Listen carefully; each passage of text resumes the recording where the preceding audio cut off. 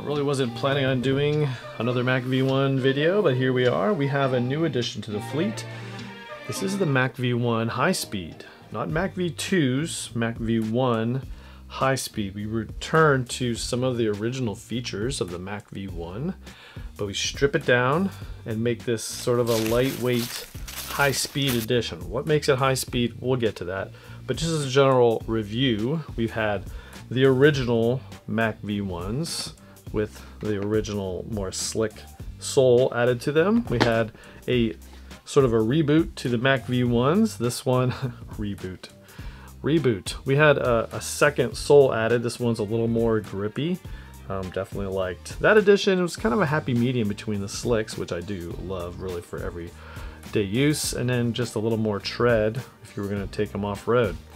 And then we stepped it up a notch with the Mac V2, the most recent release prior to this, with this more aggressive sole and a wider toe box, some other little things they've added to it. It's just a little different boot as we when we did the review of this one. I'll link it uh, up here if you want to go back and watch the Mac V2 specific video, but this is just, you know, both that was like the biggest difference was the bottom and then some other differences.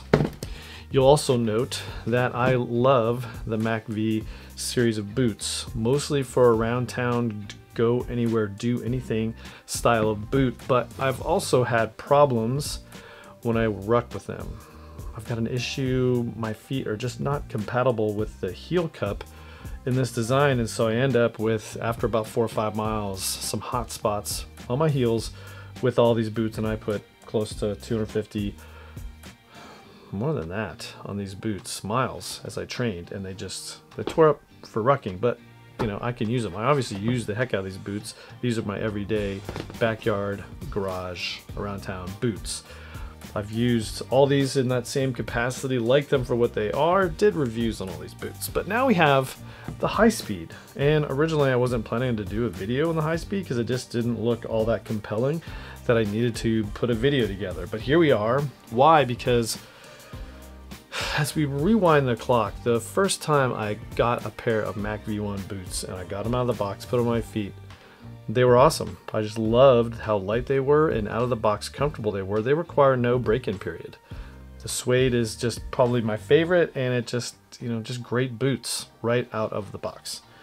This takes it up a notch because they're just kind of a destructured um, boot with no toe caps, no heel caps, those are really the biggest differences. And they use a lighter, they say 25% lighter style of suede. You can kind of tell that from the video that they're just a little different. Now they have the second iteration, Mac V1, same bottom that we saw there, same exact thing. So it's a Mac V1, but sort of destructured.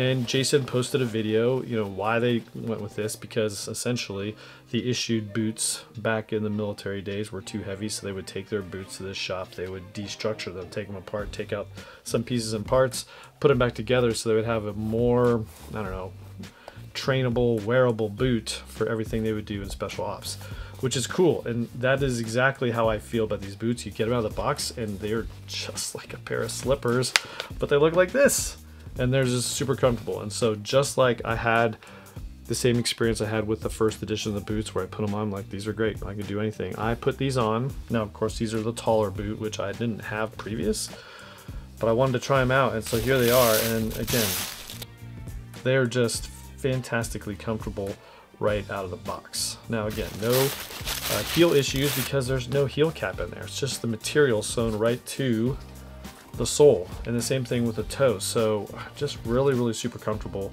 Gonna be wearing these probably all winter uh, because they're just super comfortable and really a lot more packable. I mean dude that thing just compresses all the way down. Put it inside your suitcase and go anywhere uh, compared to these which just aren't you know the the, the hoe hoe the heel and toe just definitely um, make that a little more challenging with that style of boot, but not so with these.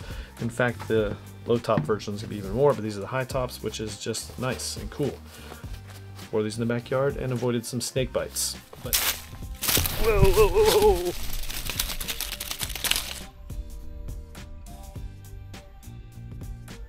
But anyway, That is just very nice. And again, the reason I wasn't going to do these videos because I just didn't, you know, it's just another version of the boot. But they're so comfortable.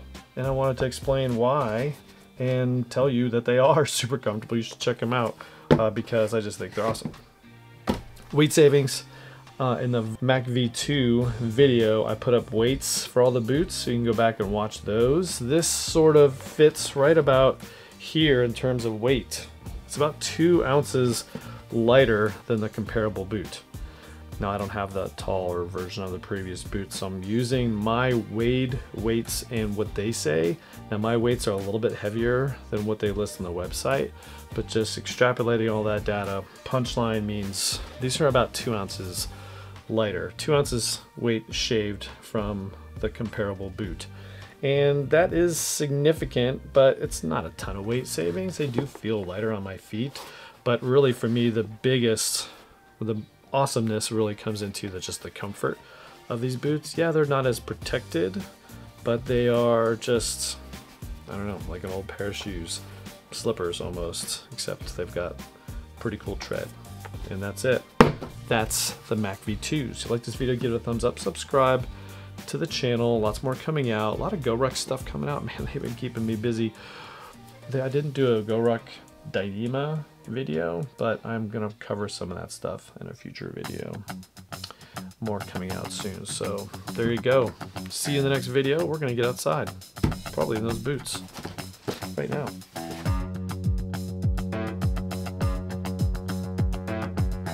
I really wasn't intending to do another MacV video. I wasn't planning on doing another MacV video, but I wasn't planning on doing I wasn't planning on doing another MacV video until we had I wasn't planning on doing another MacV1 video.